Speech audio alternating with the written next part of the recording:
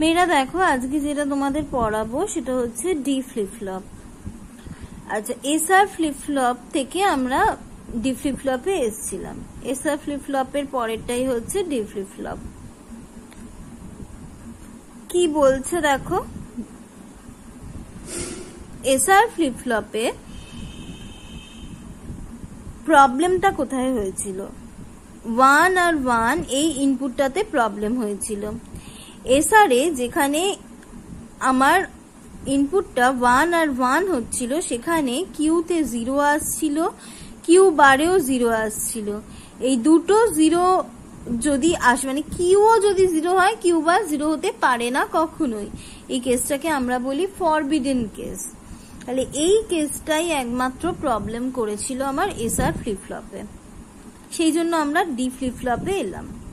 D flip পুরো নাম হচ্ছে delay flip flop delay flip flop কেন বলে? তোমরা একটু ওয়েট করো, বোঝাচ্ছি।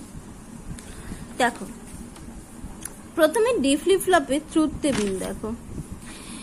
যদি ক্লক ইনঅ্যাক্টিভ থাকে, তাহলে ডোন্ট কেয়ার মানে ডিতে কি দিলাম? সেটা কেয়ার করার দরকার নেই। ঠিক আছে? ডিতে আমি জিরোই দিই আর ওয়ানই দিই আউটপুট কি হবে? প্রিভিয়াস স্টেটে যা ছিল সেটাই থাকবে। কোনো চেঞ্জ এখানে হবে না। যদি ক্লকে ওয়ান দিই ডিতে আর ডিতে যদি জিরো দিই, তাহলে আউটপুট হবে আমার জিরো। আর যদি ক্লকে ওয়ান দিই আর ডিতে যদি আমি ওয়ান দিই, তাহলে আউটপুট হবে ওয়ান। তার মানে খুব পরিষ্কার এখান থেকে যদি ক্লক অ্যাক্টিভ থাকে, আমি ডিতে যা ইনপুট দেব, আউটপুট আমি তাই পাচ্ছি। অ্যাজ ইফ যেন মনে হয় ডি আর কিউটা একটাই তারে কানেক্টেড আমি ডিতে যা দিচ্ছি কিউতে তাই পেয়ে যাচ্ছি। তাহলে অ্যাকচুয়ালি যদি এটা একটা তার হতো, তাহলে কি হতো?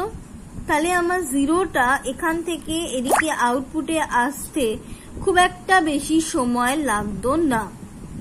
কিন্তু যেহেতু এটা একটা সার্কিট ভায়া সার্কিট হয়ে যাচ্ছে, তাই এটা অনেক গেট নিয়ে তৈরি। এবং সেই গেটগুলোর নিজস্ব প্রপাগেশন ডিলে আছে। এই প্রপাগেশন ডিলে থাকার জন্য গেটগুলোর কাজ হতে একটু দেরি হয় আউটপুটেও তাই একটু দেরি করে।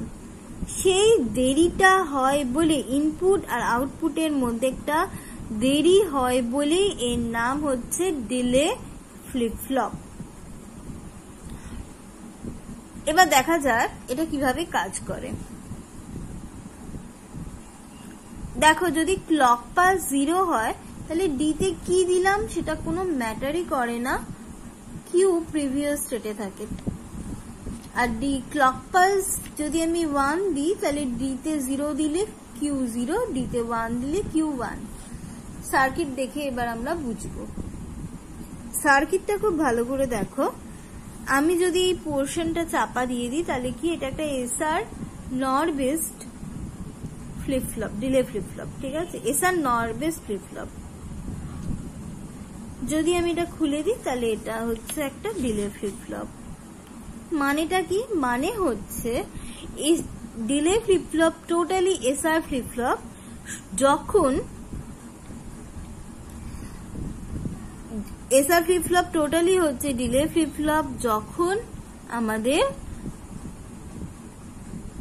আউটপুট দুটো এই সরি ইনপুট দুটো একটা নর নট গেটে কানেক্টেড টোটালি একটা এসআর ফ্লিপ ফ্লপ যেখানে ইনপুটগুলো নট গেট দিয়ে কানেক্টেড দেখো, এটাই তো ছিল এসআর ফ্লিপ ফ্লপে এটা এস আর এটা আর এই ছিল এসআর ফ্লিপ ফ্লপে তাহলে এদের মধ্যে একটা নট গেটকে কানেক্ট করিয়ে দিলেই আমি ডিলে ফ্লিপ ফ্লপ পেয়ে যাচ্ছি।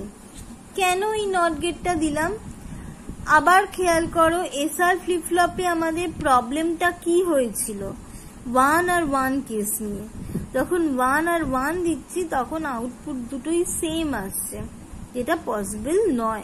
কারণ আমরা কিউ আর কিউ বার নাম দিয়েছি। দুটোই এক হতে পারে না। এটাকে ডি ফ্লিপ ফ্লপে রিমুভ করা হলো। কীভাবে? ডিতে দুটো ইনপুট একটা নট গেট দিয়ে যদি কানেক্ট করি, তাহলে এস যদি জিরো হয় আর তাহলে আমি অলওয়েজ ওয়ান পাবো। আর এস যদি ওয়ান হয় আর তাহলে আমি অলওয়েজ জিরো পাবো। তাহলে কখনোই আমার ওয়ান ওয়ান এই ইনপুটটা আসতেই পারে না। ওয়ান আর ওয়ান এই দুটো পরপর ইনপুট দুটো জায়গাতেই আমি ওয়ান দেব, এটা কেসটাই আসতে পারে না, কারণ এটা এটা সেম হতেই পারে না, মাঝখানে একটা নট গেট আছে। তাহলে এই জন্য এখানে ওয়ান আর ওয়ান এই ইনপুট কম্বিনেশন তৈরি হতে পারে না। তাই যে প্রবলেমটা ছিল আমার এসআর ফ্লিপফ্লপে সেটা কোনো দিনই এখানে অ্যারাইজ করতে পারবে না। ফরবিডেন কেস এখানে হতেই পারে না।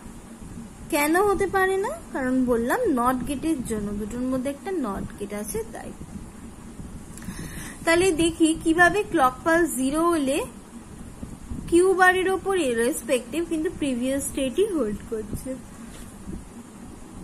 ধরো ক্লক পালস জিরো তাহলে এখান থেকে জিরো যাচ্ছে অ্যান্ড গেট দুটোতে জিরো বেরোচ্ছে, তার মানে এখানেও জিরো এখানেও জিরো এই আউটপুটও জিরো হলো, এই আউটপুটও জিরো হলো। এখান দিয়ে জিরো এলো। ধরে নাও কিউ আর কিউ বারতে তোমার ওয়ান আর জিরো আছে। এখান দিয়ে জিরো এলো, এটা দিয়ে ওয়ান এলো। ঠিক আছে? জিরো আর ওয়ানে মিলে আমার তৈরি করল জিরো আবার এটা দিয়ে জিরো গেল, এটা দিয়ে জিরো গেল।